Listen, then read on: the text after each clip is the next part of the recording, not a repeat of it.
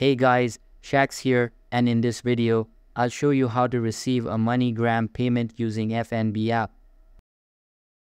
First of all, make sure to have the latest FNB app update on the Play Store. Then select FNB and log in. Make sure to use biometric login or enter your FNB app password.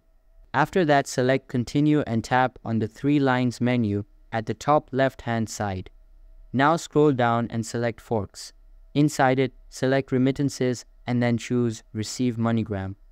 Now, enter the MoneyGram reference sent to you by the sender. Once done, tap on Find Transaction and read the MoneyGram details. Now select the relationship you have with the sender and select Continue at the bottom right hand corner. After that, read the View Regulatory Declaration, select the box next to I agree to the regulatory declaration and then select Continue at the bottom right-hand corner. Next, confirm the MoneyGram details, read the terms and conditions, agree to them, and then select Continue at the bottom right-hand corner. Once done, review the quote and then select Accept at the bottom right-hand corner. You will then land on a thank you screen stating that your transaction was completed successfully. So that's all for this video.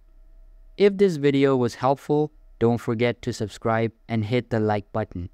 Thanks.